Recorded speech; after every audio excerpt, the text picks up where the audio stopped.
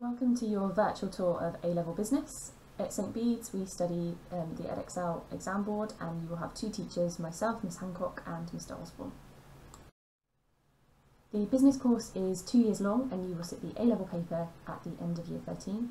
Uh, there are three papers overall, each are two hours and worth 100 marks and they cover four themes which I'll talk about in more detail now. Theme one is marketing the people. It considers what it takes to be an entrepreneur how you market your business and your products, how you meet your customers' needs, and how you manage people within a business. Theme two is the financial element of Business A level.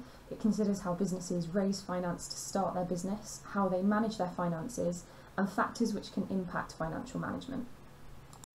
Theme three is all about decision making. It considers how businesses grow um, and the aims that they set themselves, how they use strategies and techniques to make decisions on a daily basis, and how they can deal with change in a very busy world.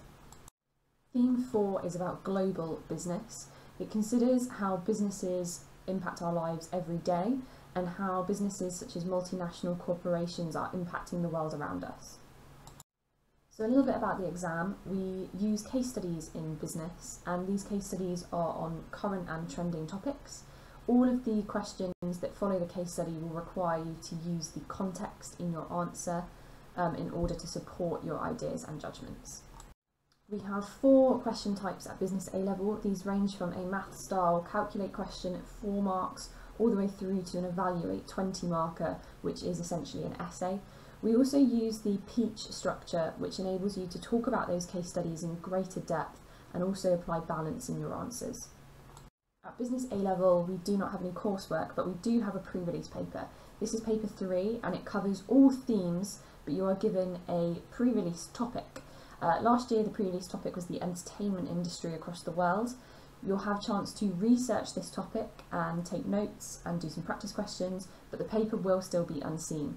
What this does give you though is a little bit of an advantage in terms of context and having a good idea of what the questions might be about. So what do we look for for a business studies student at A-level at St Bede's? The first thing is a good grasp on literacy. We are a heavy writing topic, so you need to have a, a level 6 or above in English. We also look for high levels of numeracy, so again, a grade 6 or above in maths is really necessary for the big maths topics.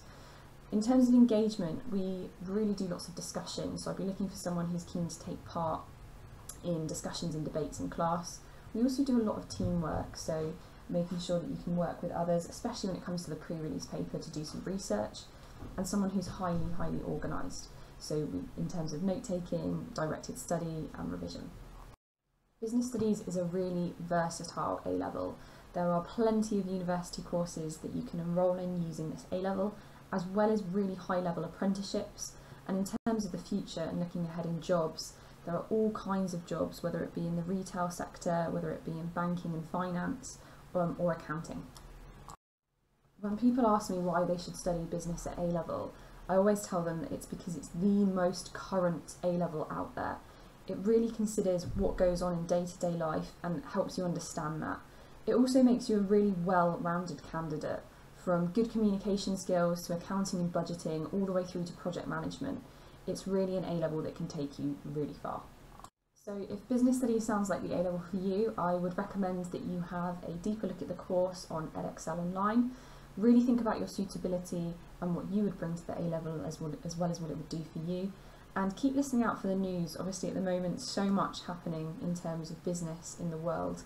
So keep an ear out for that, ready for when we start the course in September. If you have any further questions, please do not hesitate to contact me my email address is on the screen and I look forward to meeting you next year.